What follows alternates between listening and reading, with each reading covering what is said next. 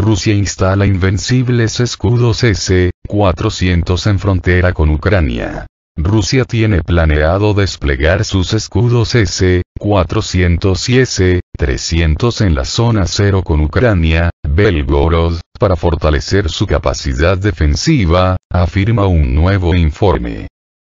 Tal y como ha anunciado este martes un reporte de Defense Express, citando al jefe del Estado Mayor de las Fuerzas Armadas de Ucrania. Los sistemas antimisiles S-400 y S-300 se están desplegando en la región de Belgorod, con el fin de proteger los principales puestos de control en la zona limítrofe, así como las áreas de retaguardia de los militares rusos que actualmente tienen bajo control la ciudad de Kharkov, noreste de Ucrania. El S-400 ruso es una modernización del S-300 soviético, lo cual es todavía más peligroso que la antigua generación, debido a una estación de radar mucho más poderosa y la introducción de nuevos misiles antiaéreos de largo alcance, señala la fuente. Esto, mientras las fuerzas ucranianas han bombardeado la misma jornada el poblado ruso de Kolobchino, localizada a unos 10 kilómetros de la frontera con Ucrania. Es más, el 1 de abril también, las fuerzas armadas ucranianas violaron el espacio aéreo de Rusia tras cruzar la frontera común y entrar en Belgorod, para luego provocar un incendio en un depósito ruso de petróleo. ¿Para qué sirven los S-400 rusos? El sistema de defensa aérea S-400 es uno de los sistemas móviles de defensa antiaérea más sofisticados de Rusia, capaz de derribar misiles a una profundidad de 400 kilómetros, que todavía no ha sido incautada o destruida por Ucrania durante la operación rusa, iniciada el 24 de febrero. Los S-400 rusos son conocidos además de su largo alcance por la capacidad de interceptar objetivos hipersónicos y golpear hasta 80 objetivos aéreos simultáneamente. De hecho, el escudo de ser instalado en Volgorod, geográficamente en la vecindad de la zona ucraniana de Kharkov, hará frente a un posible ataque de la Fuerza Aérea del país vecino, mientras Moscú acaba de comenzar la segunda fase de su operación en Ucrania con el objetivo de liberar regiones de Donetsk y Lugansk, este de Ucrania, la que según el Kremlin busca la desmilitarización y la desnazificación total de este país europeo.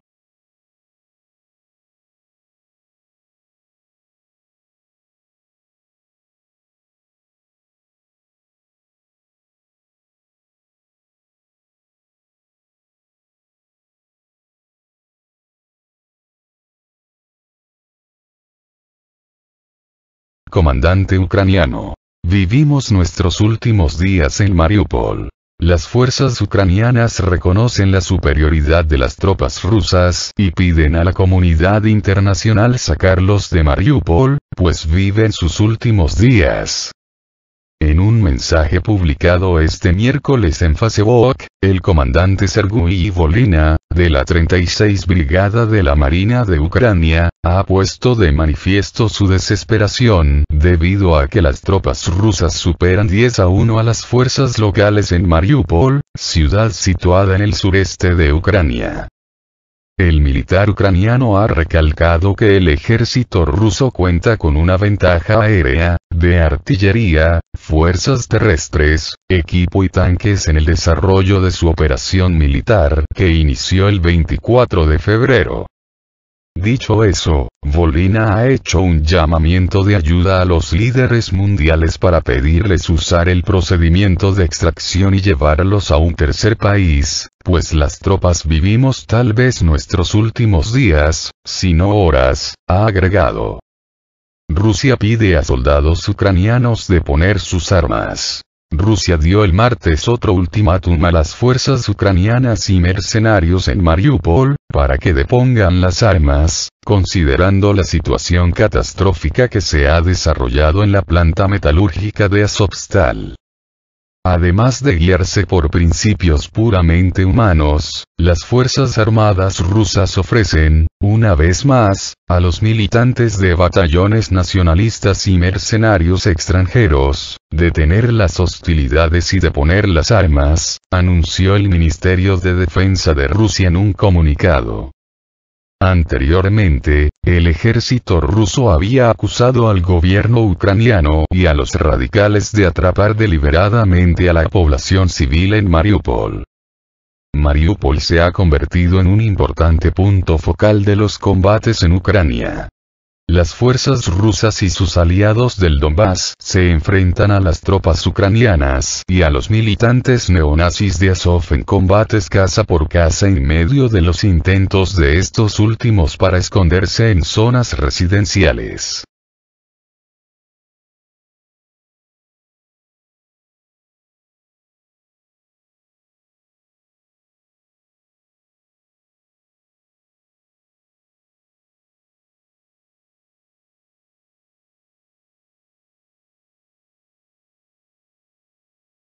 Estados Unidos anima a Ucrania a pelear una guerra de 10 años con Rusia. Un diario chino arremete contra Estados Unidos y la OTAN por animar a Ucrania a mantenerse en una guerra con Rusia que podría durar 10 años es exactamente debido al flujo continuo de ayuda económica y militar de Estados Unidos y la organización del Tratado del Atlántico Norte, OTAN, que se ha prolongado el conflicto militar en Ucrania, lo que anima a Kiev pelear una guerra de 10 años, pero que al final es una ilusión, denunció el diario chino Global Times en un artículo publicado el lunes. A continuación, el rotativo señala que Ucrania depende de cantidad de armas que le suministran Estados Unidos y la Alianza Atlántica para hacer frente a la operación militar de Rusia, en desarrollo desde el 24 de febrero. En este mismo contexto, San Junio, el embajador chino ante las Naciones Unidas, denunció el martes que la continuación del envío de más armas a Ucrania no traerá la paz, sino que solo prolongará y escalará el conflicto y agravará aún más la catástrofe humanitaria. China, el próximo objetivo de Estados Unidos. Global Times también denuncia que, en las circunstancias actuales, Washington se ha aprovechado de la crisis en Ucrania para tomar el control de Europa, fortalecer la unidad del bloque militar y asestar un golpe a Rusia.